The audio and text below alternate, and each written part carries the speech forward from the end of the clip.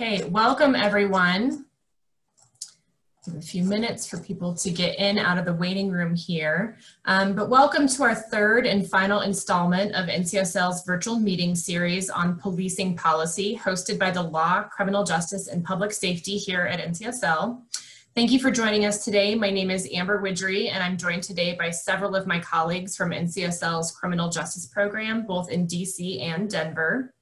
We are also joined today by Colorado State Representative Leslie Herod and Colorado State Representative Matthew Soper. During our time today, we will focus on state law enforcement initiatives, but I also want to encourage you to go back and watch the earlier recordings of the previous two meetings. Um, if you're interested, there's more information there on use of force and qualified immunity, federal US Supreme Court case law, um, and also federal legislative efforts as well.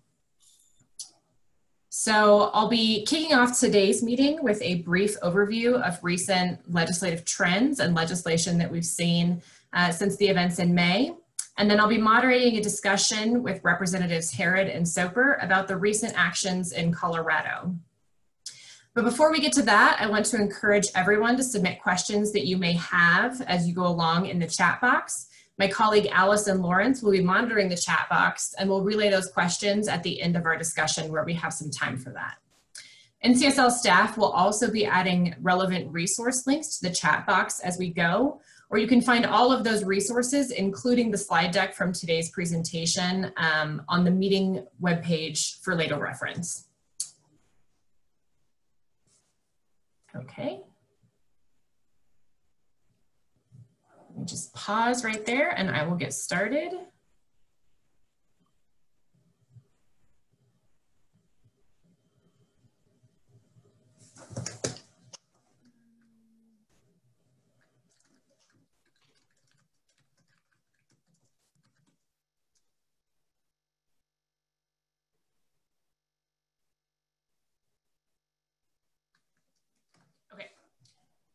So launching my presentation here, two seconds for me to get the tech going. The first thing I wanted to highlight for you today is NCSL's new policing legislation database. We launched the database not quite a month ago, and it contains policing legislation that has been introduced in state legislatures across the nation since May 25th of 2020. The status of bills in the database is updated daily, and new legislation is added to the database as it is identified by staff, which is at least weekly at this point. There's a link to the database in the chat box, and you will also be able to access it in the resources after this meeting. Um, you can tell when new legislation is added to the database because there's a date stamp at the top of the page. You can search this new database by keyword, state, author, bill number, bill status, or by topic. I highlight topics specifically as you'll see on the left-hand side of the image. These topics were uh, created and curated by NCSL staff and we manually sort legislation on a weekly basis into those topics. Below the database module on the web page, you'll also see a definition of each topic, which we modify as we sort additional legislation into the database. So on to what states have been focusing on in recent weeks. As of the end of last week, 27 states and Washington, D.C. had introduced 339 bills. 35 of those have now been enacted and seven are awaiting executive action. 181 of those pieces of legislation are still pending in legislatures. What is noticeable about these numbers is the proportion of states that have been able to introduce legislation since May 25th. Without COVID-19 related delays and recesses, only 17 states would have been in session after the events on May 25th. In addition to the delayed sessions, special legislative sessions have also been convened to address COVID-19, providing another opportunity in some states for policing issues to be raised. And finally, in some states like Oregon and Minnesota that have called special sessions to address COVID-19 issues, um, those special sessions have also had specific intent to address policing issues alongside COVID-19 issues. Of the 339 introduced bills that I mentioned on the last slide, 35 of those have now been enacted. Those actions represent the actions of 15 state legislative bodies and also the Washington, D.C. Council. On this slide, you'll see a listing of the topics that have been addressed by those enactments, but I wanted to just briefly give you some more detail about what states have been addressing more specifically. Enacted, uh, recent enactments have addressed uh, most broadly something related to police oversight or data collection and reporting. To give a few examples, Rhode Island and Louisiana each created new task forces on policing, and the Oregon legislature has created a new joint legislative committee that will fo focus exclusively on policing issues going forward. Other enactments have focused on gathering and making available data, particularly on officer use of force and information on police contacts or stops, with an emphasis on that data being publicly available. We've also seen a focus on the use of force, and this has included changing statutory standards for physical force and for deadly force, restricting the use of specific kinds of force, including chokeholds, or restricting when less lethal means of force should be used, or encouraging the use of less lethal means of force. Related to this, states have also created statutory duties to intervene in excessive force situations and also created duties to report incidents of excessive force. Use of force state actions um, have also focused on creating frameworks for independent state level investigation and also independent state level prosecution for police involved incidents. In Colorado, Delaware, and Iowa, these changes have involving involved empowering specifically the state attorney general to take action. States have also provided stronger guidance for required training, both annual training and training required for initial officer certification. De-escalation training and training on new standards has been mandated in some states, and Iowa's new law also requires annual bias prevention training in addition to de-escalation training. There has also been guidance as to what types of serious misconduct would require that an officer in a state be decertified. Greater access to decertification and disciplinary records has also been of interest, with some states passing provisions to increase transparency. To provide a few examples of this, the new New Jersey enactment requires law enforcement agencies to share internal affairs records and personnel files with other law enforcement agencies in the state. The New York law repealed a provision that authorized confidentiality for personnel records of law enforcement officers, and Oregon's new enactment required the creation of a public statewide database of police officer discipline records. And this has also partially already been implemented with the Department of Public Safety Standards and Training, just recently launching a new database with historical data that goes back to 1971. Other issues that have received attention include requiring and regulating the use of body cameras and also limiting immunity or addressing other state level protections for officers who act in bad faith or who've committed criminal offenses during the course of their duty. Finally, states remain interested in expanding alternatives to arrest and deflection programs that reduce justice system contact for appropriate individuals. The other notable thing that I wanted to highlight today is the speed at which some of these new enactments have made their way through legislative chambers. To give a particularly notable example of this, Iowa House Bill 2647 was passed unanimously in both chambers of the House in just two days. It was shortly thereafter signed by the governor. I also want to highlight that in addition to the 339 bills that you'll find in the database, you will also see that we're tracking executive orders. Three other statewide bodies have been created by executive order. And the other notable thing that I wanted to point out on this slide is that the Connecticut order uh, is notable because it actually makes substantive changes that address use of force, community engagement, demilitarization of the police, and also police use of body cameras.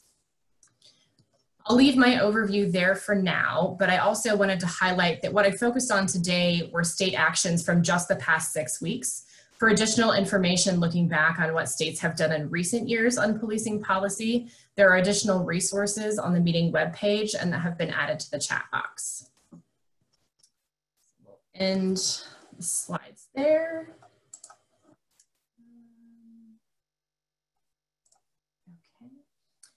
And with that, I would like to turn to today's other speakers, and I want to thank them for joining us today. For some quick background for our audience, Representative Leslie Herod was initially elected in 2016 to the Colorado House of Representatives.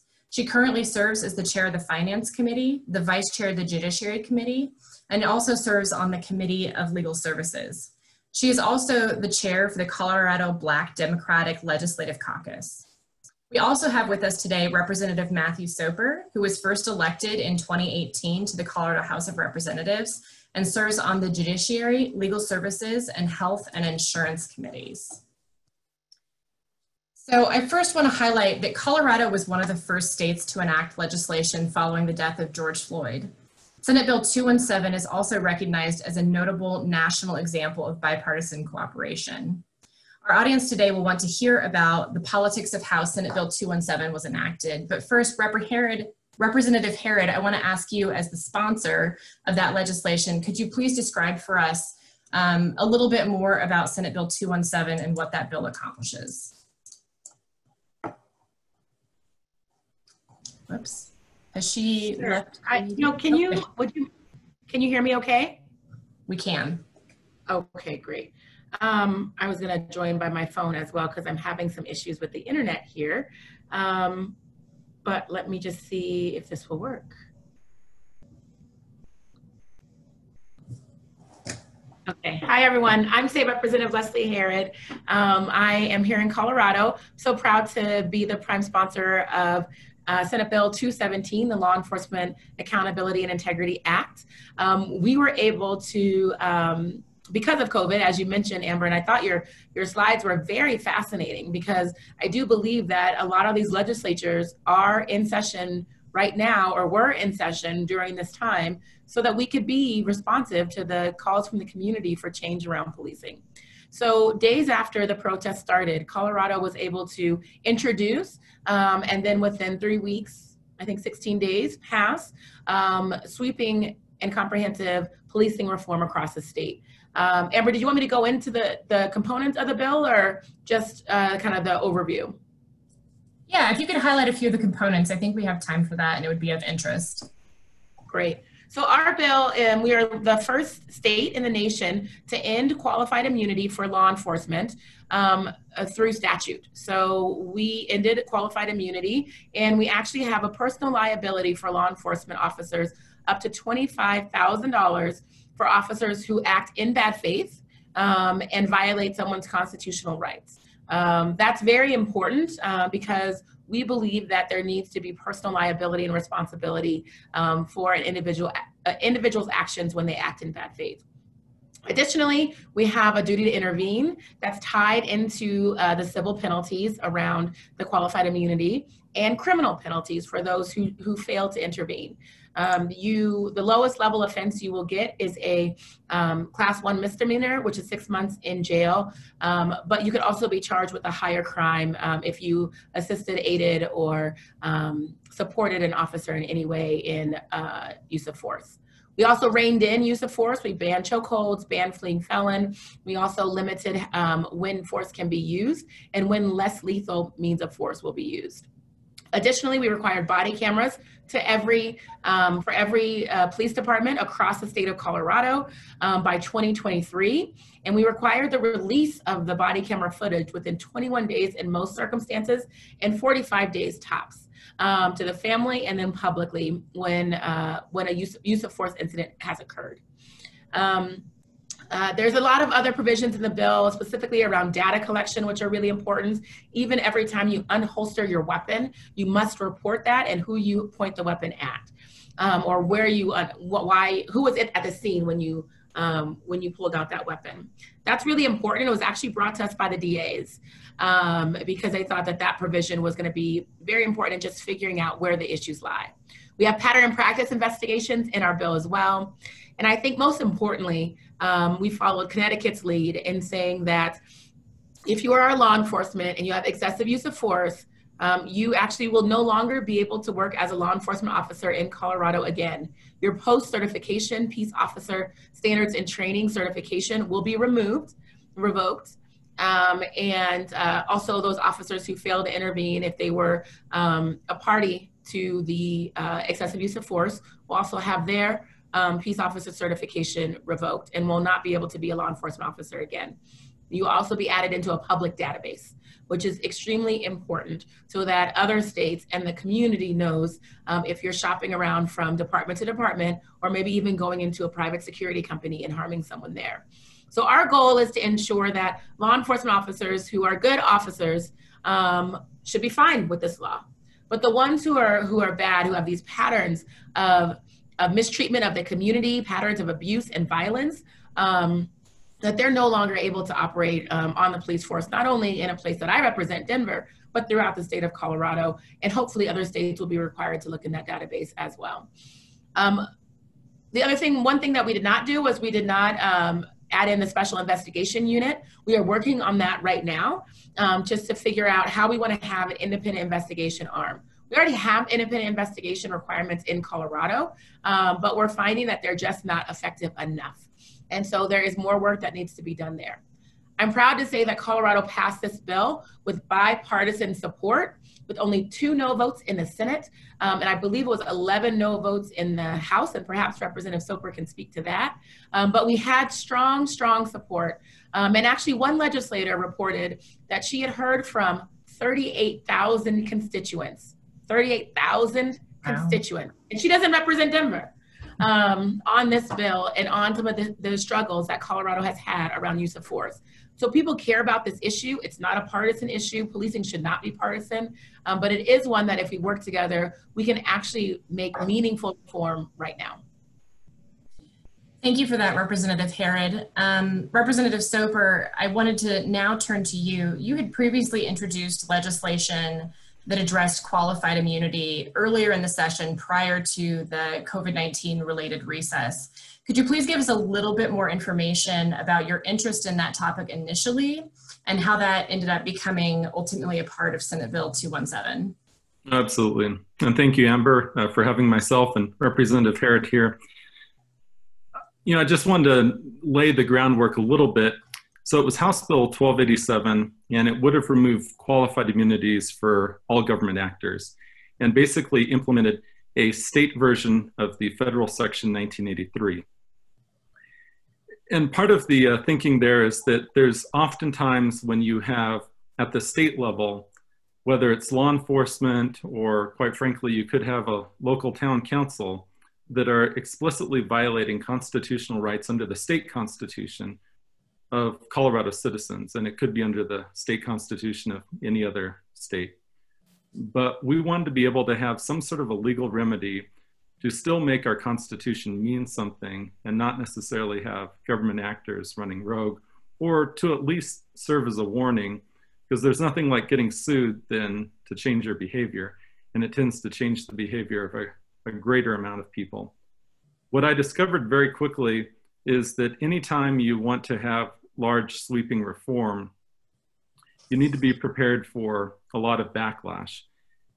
And I perhaps wasn't fully prepared for the fact that uh, pretty much every single DA and police chief and county sheriff and city council member and county commissioner and uh, even actually all of our state elected officials were all in opposition to my bill. Now, that's not to say I didn't have a lot of great support. I mean, I had a lot of people that supported it. Uh, I know Representative Herod was uh, one who was in support of it. We uh, had people on board uh, from the ACLU to Cato. Uh, so we had uh, Americans for Prosperity. I mean, we we definitely had the balancing of stakeholders, but ultimately that was not enough to really overcome the opposition, and the opposition was was definitely fierce. So that's uh, when I, I asked to have the bill postponed indefinitely uh, with the idea that we would spend the summer or the interim time uh, working on some of the language uh, to really try to bring them around. And then a few days later, we had COVID 19 start. And that's when the governor on March 10th declared a state of emergency. And by the end of that week, the entire General Assembly was back home in their districts. And the whole world basically changed. I mean, I don't need to tell you how that happened. But at that point in time, I couldn't have thrown the issue of qualified immunity from one side of the hallway to the other without it being shot down. And then we come back into session for a uh, about a three and a, three and a half week long session uh, to finish our business past the state budget. We had to cut like three and a half billion dollars. And Representative Herod um, had introduced um, sweeping law enforcement reform. And one thing that got included was the elements of qualified immunity from the bill I was working on And timing is everything in politics, to where uh, she was able to take that and actually get it passed and accomplished in a year when I felt like that would have been impossible. Uh, so certainly a lot of credit there. It um, and and managed to do so with. I appreciate that. Uh, you're welcome, Representative Herod. Uh, it, and I just want to um, lay a little bit more of the of the background because you know there's nothing like having a sense of urgency to bring a lot of the stakeholders back to the table and to offer real solutions. And that's probably not what existed in March. But fast forward to the last day of May, 1st of June, the sense of urgency was there. So uh, there were things like uh, the $25,000 um, cap as far as what would actually come out of the law enforcement officer's own bank account. Now, it doesn't apply to all government employees, only uh, post-certified law enforcement members. But there were uh, some additional constraining uh, vehicles such as bad faith and the violation of state constitutional principles. So, so that's how we kind of got here. It's pretty a remarkable story, really. And this will be written about uh, for years to come in the annals of history.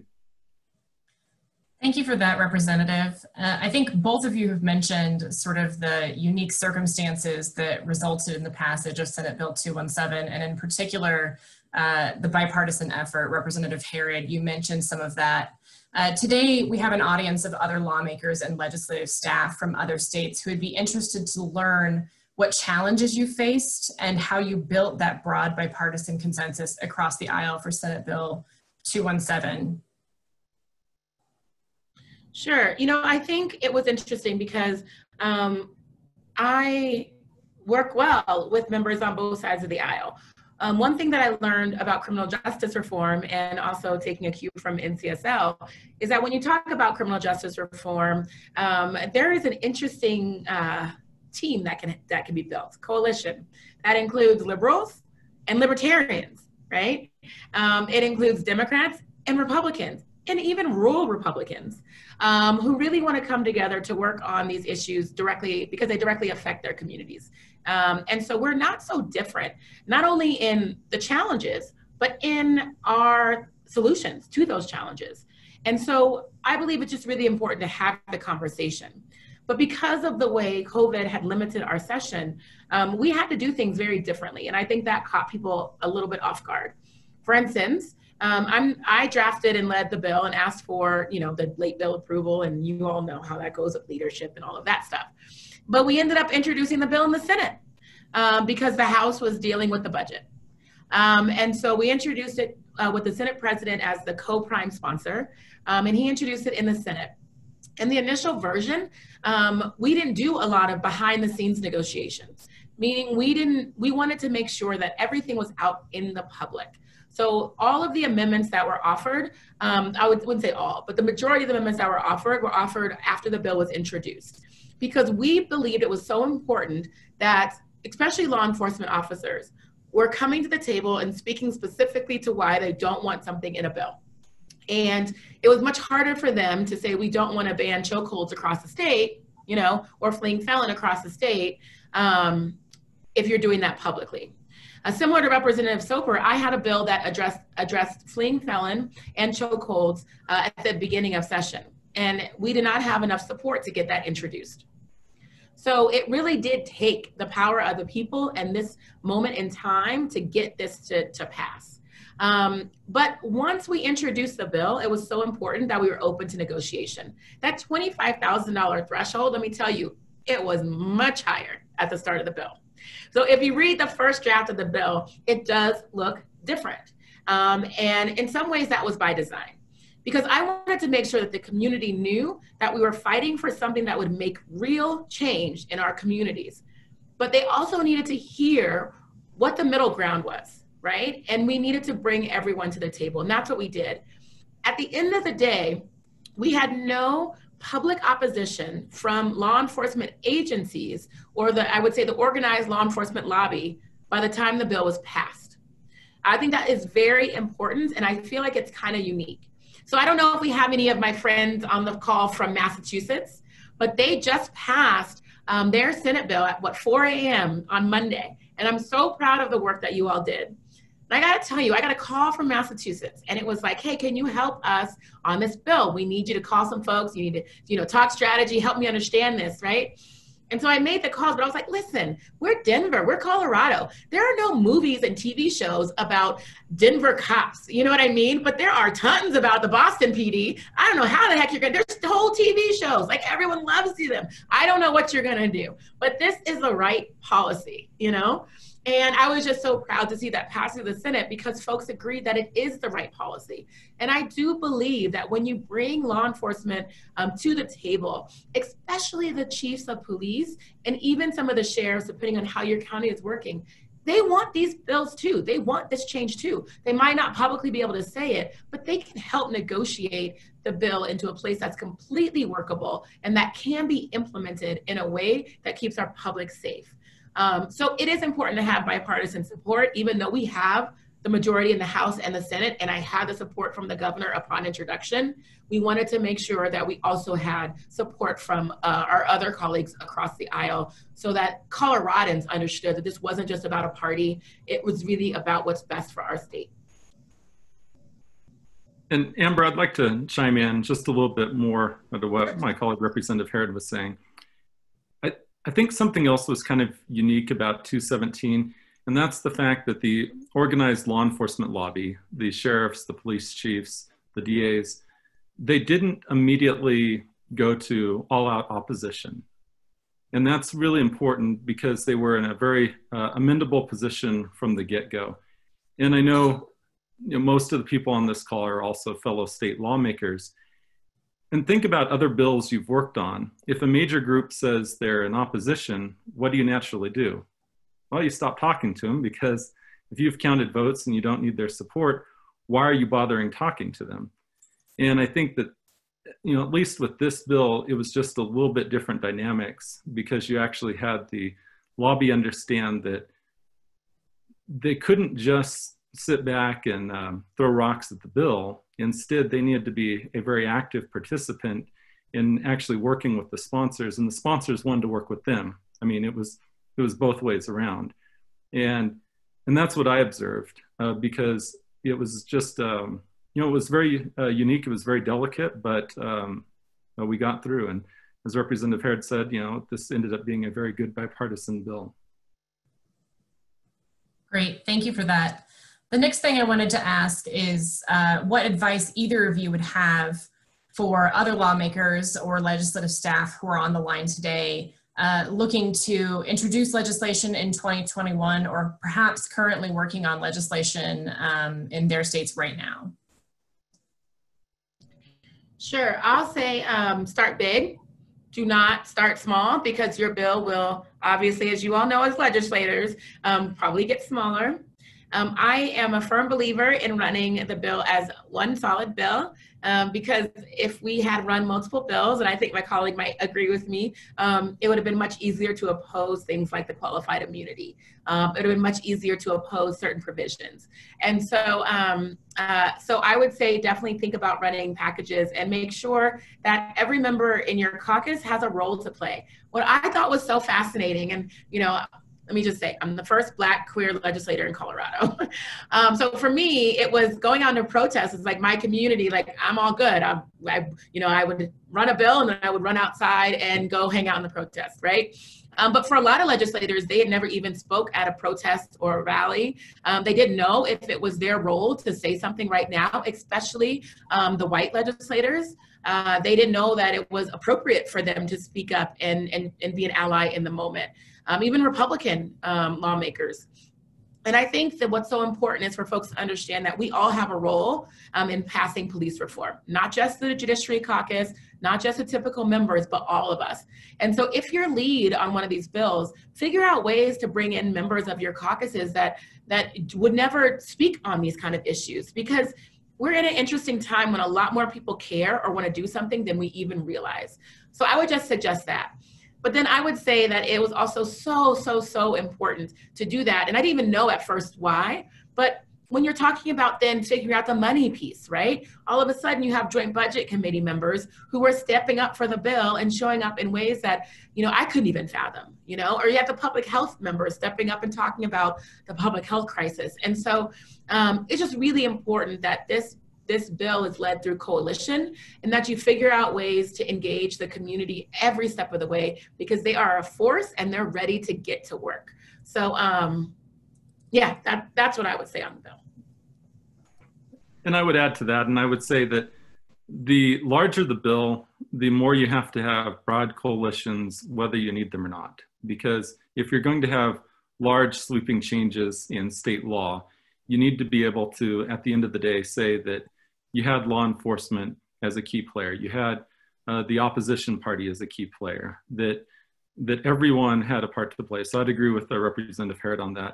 I will say that that, that personally, um, you know, I I'm I'm not necessarily a big fan of um, putting a lot of bills together and trying to do one big package, but I understand why it was done here, and I know that uh, from a strategy point of view, uh, this was the right time. I mean, I don't think we would have gotten these individual components like qualified immunity um, passed as a standalone bill, and I can tell you that from having ran the standalone bill. so you you certainly have to weigh the strategy versus what you personally believe as far as how to get it done and and that'll be just something that's very unique based on state law and the individual legislators but certainly you know you need legislators who are in safe seats who are willing to uh, not be afraid of anyone or anything uh, actually uh, dropping the legislation and getting it going Thanks for that. And I see we have a question here from Representative Eric Hutchings. So I'm actually just going to ask you to unmute. And if you want to go ahead and ask your question directly. Oh, that's cool. Thanks. Hey, uh, congratulations, you guys. Good work. Um, super difficult subject, but I had a question. I'm not sure which one to address it to. Representative Herod, probably to you. On the um, qualified immunity adjustments that you did, um, who represents, so if, if a lawsuit and maybe uh, Representative Soper to you as well on how you are running your bill. If a lawsuit were to be filed, um, who at that point, uh, or if even if it's criminal charges, who represents the individual? Who represents either the officer or the state employee? And if they lose, um, is there uh, does it go to the state? Does the state pay the penalty? Is the state on the hook for any of that in either one of your bills? or does it just go to them personally? Can you guys help with some details on that? You know, I'll let Matt start since he's the attorney on the call. Oh, well, thank you very much. Uh, you're too kind. So um, I'll, I'll first talk about my bill because I, I think 1287 and 217 are the same on this point.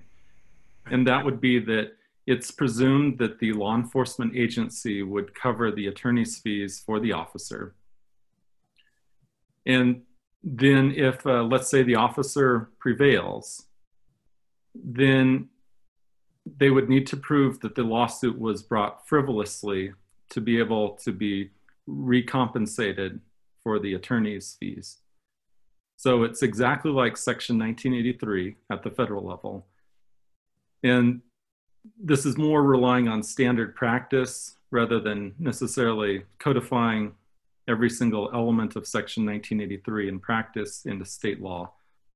But what would happen in Colorado is, let's say, an officer, um, you know, it's, uh, um, you know, think, think, think of your best uh, fact pattern. You know, someone's shot. Um, they shouldn't have been shot. They were innocent. The officers uh, sued civilly. And in that case, the officer, um, in theory, is paying their own legal expenses but it's actually the agency that's uh, compensating that. So they're actually paying the attorneys. And then let's say the officer is found guilty, uh, civilly here, then it would be a maximum of $25,000 in, in, in 217. My bill didn't have a cap. So in 217, it'd be a maximum of $25,000 that the officer would have to come up with out of his or her own assets. And then the rest would be indemnified by the agency. Okay, that's a very helpful So thing. the so we do in the bill we are requiring indemnification um, and so it's actually interesting because it's it's been part of i would say um, uh, black history black lexicon for generations now where they talk about officers needing to have their own type of insurance um, similar to doctors. My brother's a doctor. Um, because, you know, insurance companies, and if you believe in free market and all of that, right, um, can help to determine if that officer is a higher liability or a lower liability, right? Or even if that department is a higher liability. And so um, we are requiring, um, you know, the indemnification. However, if you are found in bad faith, you have to pay that $25,000 out of your pocket. Now, the number, like I said, was initially much higher um, when we started. I believe it might have been 250, I think it was 100,000, somewhere in there. Um, we brought that down. But the reason why we have that, or 5% of the total settlement, right? The reason why we didn't say the officer is completely obviously liable is because, and responsible personally, is because they'll file for bankruptcy. And then that victim will never be able to, comp, to, to get compensation right?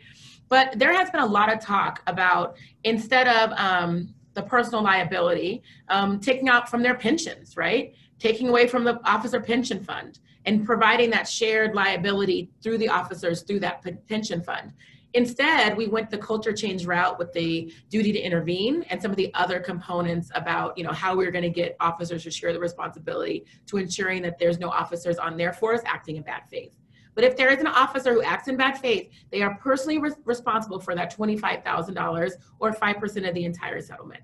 Um, that is intentional. Um, because basically the public and the community wants some type of personal stake in the game, similar to other areas. Um, if you, you know, a doctor and you um, intentionally harm a child, for instance, there are civil and criminal penalties that you can face. You know, this is the same way in this law. Um, and quite frankly, it's already in place in Colorado. Um, we haven't seen a case yet that has that has challenged um, any of these issues, but I do think it's the right way forward. Um, and, and, eventually, we might want to change that number here and there. But I do think that's a personal liability that's high enough um, that we can we can ensure that officers, you know, are thinking before they do something intentionally against the law. And did you, Representative Herod, did you put a um, does it have to be use of force related? Can it be, uh, you know, pulled over an individual inappropriately? Can it be um, too many direct contacts with an? Uh, is there is there like a, a limit on felony or misdemeanor or a certain type, or is it just universal across all of their work scope? So for this section, it is tied to uh, very closely to Representative Soper's previous bill. So it is constitutional violations. Um, you have to you have to intentionally and in bad faith violate someone's constitutional rights in Colorado. Um, and so it does not include dis- disciplinary actions. So if it's something internal that's going on, um, an email, you know, things like that that are happening, um, that would not be included. Okay. And do you guys have a definition of that that you could share with us? As far as what is, I'm assuming you're talking um, like Bill of Rights type of rights, or are there constitutional rights, civil rights is defined in the Colorado Constitution? Because that's um, it's very useful, but it's pretty broad. And I'm assuming in order for that to be able to be taken to court, it's got to be somewhat defined somewhere. I, that'd be super helpful, I think, to be able to uh, utilize that ourselves. And I, I, can answer that, Eric. Uh, yes, yeah, so it's uh, it's tied to the um, Colorado Constitution, the Colorado Bill of Rights. So it would need to be a violation that's in the Colorado Bill of Rights. Okay. Uh, so, for example, not um, not everything that's in the Bill of Rights would be actionable either. Like, for example, believe it or not, we actually have a section that says English is Colorado's official language. Well, if a um, let's say a law enforcement officer is writing in Spanish, you know, are they violating the Constitution? No, because it has to be something that's tied to the individual and the person. And so just because it's tied to the Bill of Rights doesn't mean that every element of the Bill of Rights is actionable. It would have to be um, you know, something like um, like false imprisonment or um, um you know denying um, liberty to a citizen did, did anybody bring up things like we've had a lot of heat lately on asset forfeiture? Um, oh, that's like our that favorite one. That's our yeah. favorite topic. Well, and and I guess my question is, um, it, I, I'll have to look, and thank you, by the way, for the, for the, I made a note to look for Colorado's Bill of Rights and get into that, but um, that could be a, a very broad scope of the work that an officer does. And had, did anybody bring up their concern about there just being um, thousands of new lawsuits filed uh, every year in Colorado? I'm, I'm sure they did. I'm just imagining in my head what I would hear. Um, but anyway, how did you how did you approach that? The idea that it's just going to be because everybody. I, I mean, it's. I, I think there's a lot of people that don't clearly understand sometimes what their constitutional rights actually are as defined by law and as defensible in a court of law. Um, how did you guys get around that? How did you how did you approach that? Sure, and I'll I'll I'll jump in here at first, and then Representative Herod might want to chime in also. Well, we look first other states. I mean, that's where NCSL is incredibly valuable, gives us connections. So we looked to New York and California, and they had passed uh, similar uh, qualified immunity laws. And what we had been able to observe from those two states is that plaintiffs would choose to go the federal Section 1983 route or the state law route. You didn't see them going both routes. So if you're going to get sued, as in, and I mean, we're using law enforcement here, but in both of those states, it actually was a lot broader than that, then you would have said, oh, well, there's going to be thousands of new lawsuits. Well, that also means that the government entities have to admit that they're violating citizens' constitutional rights thousands of times every single year, every single day.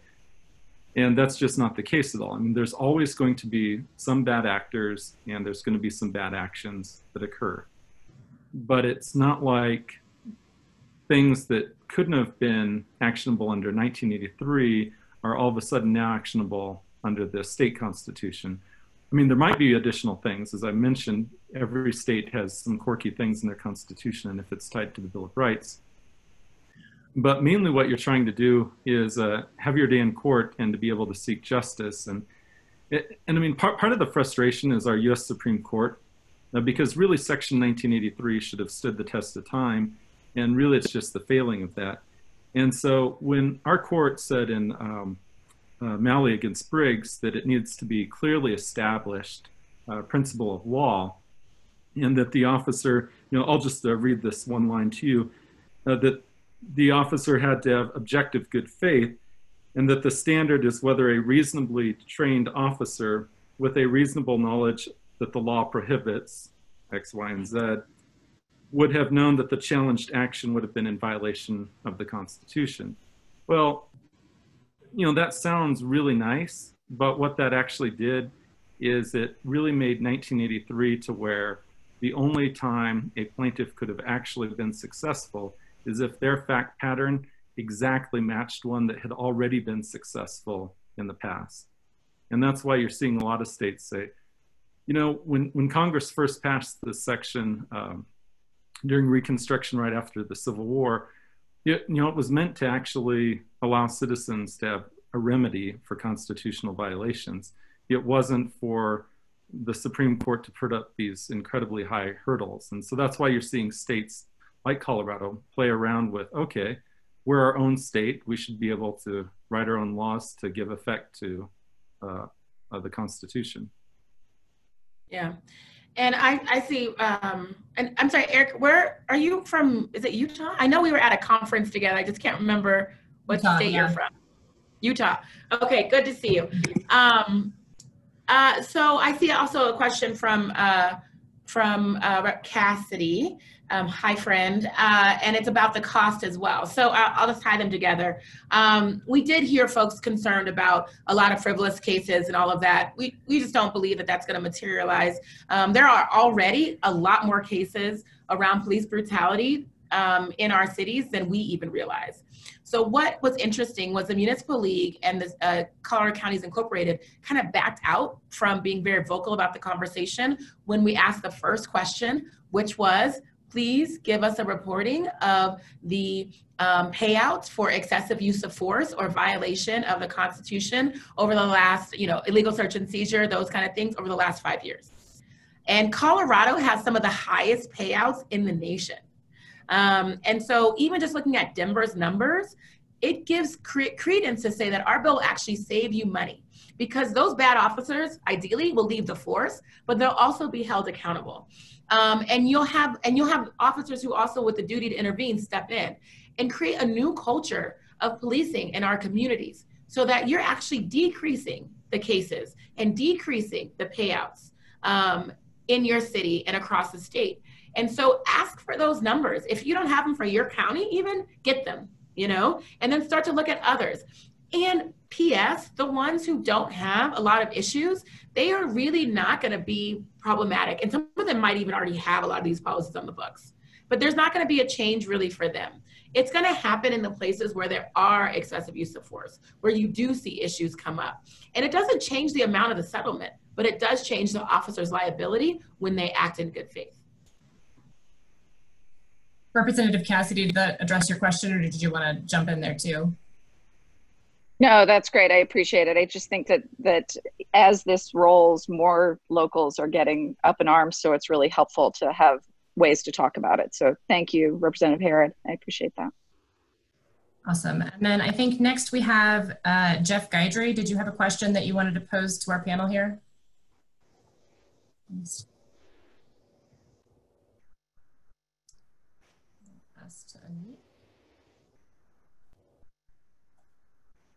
If not, I can go back and read his question that he submitted. Sorry, just scrolling through the chat here. Actually, while you're scrolling through that, Amber, uh, uh, there's one thing I might add to what we were just talking about. And one really important thing with 217 that was a vast improvement from uh, the bill I ran earlier in the session, and it really is the $25,000 cap. Because one thing we heard a lot from the law enforcement community was this is going to bankrupt um, the agency. Uh, I mean, I mean, not that they're not still going to have the indemnification attorney's fees and things like that involved. But they worried it would have a chilling effect on who would become police officers and that there would just be this mass exodus from being a police officer. And that what $25,000 says is, you know, you, you could actually take out an insurance policy if you're really that worried that would cover the $25,000. And it, you know, I felt it, it definitely shifted the conversation dramatically. And that was something that we weren't quite able to do earlier in the session when it was easier for the stakeholders to kill the bill rather than actually negotiate uh, what, what could be done. Thanks for that. I also finally found the question. Uh, did you add any enforcement mechanisms for any reporting requirements? And if so, what kind? So um, this is not a this is not a may report. It's a it's a shall. So they have to. But then we also did add in the pattern and practice piece. I think that's really important. That gives the attorney general the ability to go in and to um, investigate or even um, I mean take over when necessary uh, departments that um, have have pattern practice issues. Um, we also have uh, post certification and finally funding. Um, funding is tied to the to the um, data collection. Um, and so actually I have a meeting with the post board, I believe next week or week after that, to really go through how they're going to promulgate their rules to enforce this. Um, but it is it is tied to the, I think the most important part is the money um, for the reporting, and and all of the reporting is um, reporting into a public database.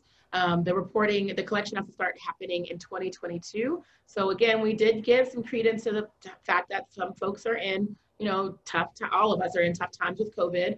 Um, and, you know, asking folks to build a database right now with, with no money. And by the way, we gave no money. There's no increase in funding in this bill. Um, was going to be really tough for people. But what we did do was we put out for 2022. Um, and I think that's really important. So uh, we have some time to tweak some of that language, but I don't know that we will need to. Uh, but it is tied to the AG being able to, um, and the funding piece, the money. Thank you.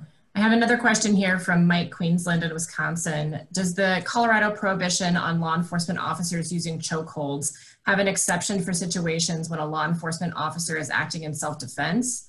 And does the chokehold ban also cover carotid holds um, or holds that reduce blood flow but not airflow? It does include carotid flow. There is no exemption for self-defense.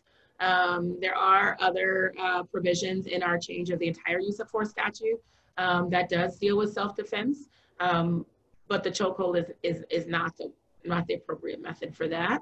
Um, so that is, that is defined in the bill um, that I think you have here in, in the comments, but there's no exception for the use of chokeholds. And a lot of our major cities um, had already banned the use of chokeholds. Um, but of course, the penalty was disciplinary action, not necessarily uh, criminal or civil penalties. So that changes that. Um, but yes, we have we have banned the use of chokeholds. Okay, I wanted to take one final minute to ask if anyone else had questions that they wanted to pose before I move on to sort of my last question for our presenters. Once, going twice. All right, perfect. So um, one of the things that I've heard from most states that have enacted legislation sort of in this unique uh, window, whether they were in session that was delayed or otherwise, um, and if they manage to enact legislation, it's been often referenced as a first step uh, with intentions to do more in the future. So my question to the two of you is, do you have plans for 2021 to address this issue again? And if so, what are those? Yeah, so um, this is this is just I, it's it's it sucks to say it's a first step because I do know that there's legislators who've been working on this for so very long. Um, this is a big shift, though, you know, um, and I think it is a big step forward for Colorado. But there is more work that needs to be done. We do need independent investigation, and I believe that should needs to happen at the federal level because, as you all know, I'm sure it's Colorado's not unique in this. Um, usually, a DA knows the sheriff, knows the DA, and the other county knows. I mean, everyone is, is so connected that it's hard to really make it independent. And so, I do believe uh, that we need more independence. Um, uh, there is a lot more that we need to do around um, psychiatric evaluations and ensuring folks have access to mental health care. Um, they need that and the community needs it. Um, and I will go and I will say publicly that I do support the divestment in, in, the poli- in policing. COVID has showed us specifically that we can actually reduce the funding that we use for law enforcement and move it other places. We are not putting the same amount of people in jails and prisons right now right? We can't. There's no space, and we, we don't want to keep. I'm sorry. Some some of your some of your states maybe are doing a little different, but we're all trying to figure out how to make sure that there are space and that we can keep people safe in our correctional facilities, which means a lot of folks aren't coming in, right? We're not we're not letting folks out early necessarily. Some people are, but we're not letting people in.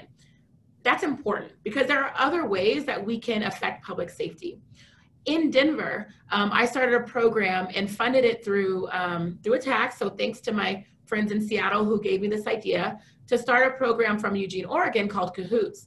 Um, we have a program now called STAR, where we are working with law enforcement and 911 to dispatch a mental health professional and an EMT as opposed to law enforcement on mental health scenes. The STAR program has been working for um, since June. It's been working very effectively. The money does not go into the police department's budget. In fact, the police department has been helping and funding things like the insurance for the vans and things like that. They've been a great partner. They train together and they should. But we don't have to think about just increasing policing budget because we have seen an increase in the folks in folks who need mental health or substance use services. In fact, we can shift funding over into those areas and save money in correction, save money in child welfare. You know, when we actually start to think about things differently.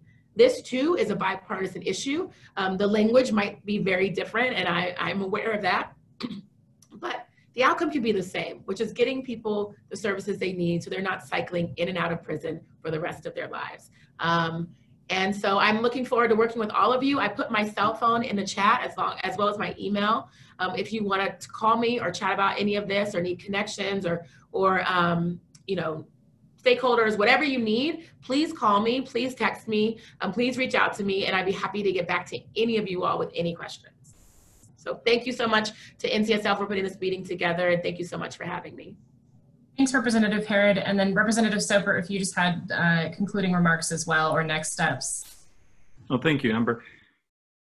You know, I have a, um, a law enforcement training uh, facility uh, in my district. Uh, it's actually a technical college, and they also do um, cosmetology.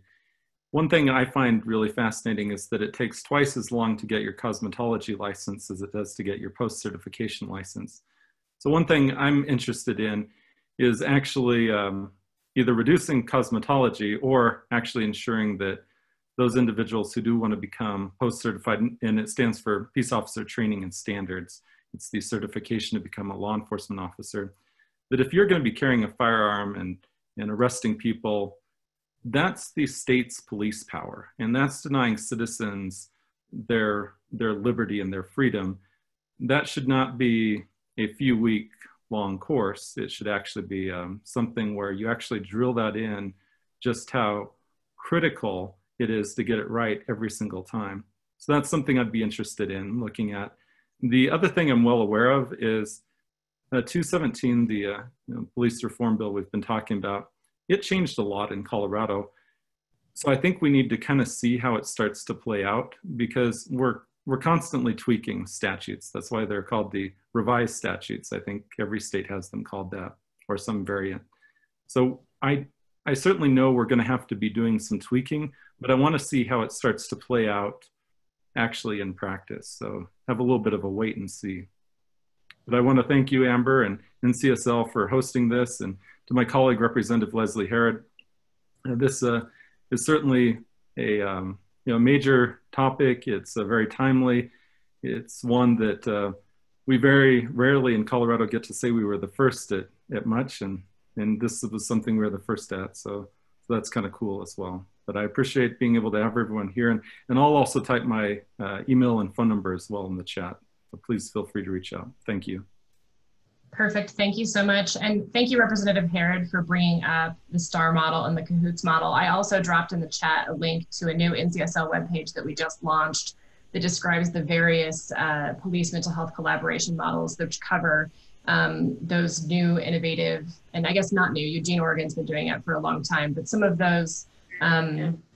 interesting and different types of alternative responses. So there's some additional information there. And as always, NCSL is happy to field um, questions from lawmakers or put you in touch with Representatives Soper or Herod um, going forward. And I think I have just a couple minutes, so I am going to squeeze in one final question that came in, if you guys are okay with that. Uh, Delaware's chokehold bill, House Bill 350, had an exception that the use of a chokehold is only justifiable if the person reasonably believes that the use of deadly force is necessary to protect the life of a civilian or law enforcement officer um, which the question describes as feeling like an affirmative defense. And the person asking this question, uh, Anna, wanted to know what your thoughts were on this kind of limited exception for the chokehold regulation. Yeah, I, Anna, you're, you're right. I mean, basically, it's unenforceable, and it just allows law enforcement to get away with doing this. Um, there's no there's no reason you need to use a chokehold or a carotid hold. And I will tell you, uh, my father was the head of internal investigation for Supermax. Um, and he was a he's a law enforcement officer, retired, but started at the age of 19 and then retired out of the federal system. And he agrees that we need to ban the use of chokeholds and that they are never necessary. So, um, so I believe this is a loophole. Uh, the reasonable reasonable belief argument is we, we also changed that in Colorado statute. Um, so keep your eye peeled for these type of exemptions. It does make the, the clause unenforceable. Thank you for bringing that up. And I guess to just also add my two cents worth, I, you know, I think I'd want to see some research into that as well. That I, I just don't believe that if you had that type of exception, that you you would probably have the um, you know the rule becoming the exception. And so, yeah, I would probably agree with Representative Herod here that I just don't think that probably research would follow that. Well, thank you so much for those final comments, Representative Soper and Representative Herod. Um, we appreciate your time here today. And again, NCSL is happy to field any questions that you may have about the database or about the content that we have brought up on today's presentation. Um, thank you for your time and everyone have a wonderful afternoon.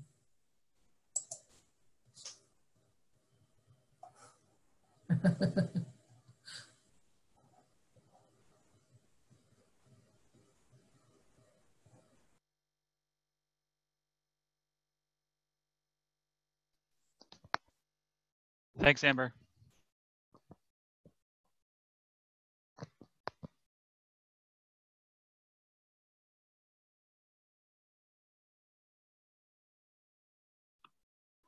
Thank you all. It was great.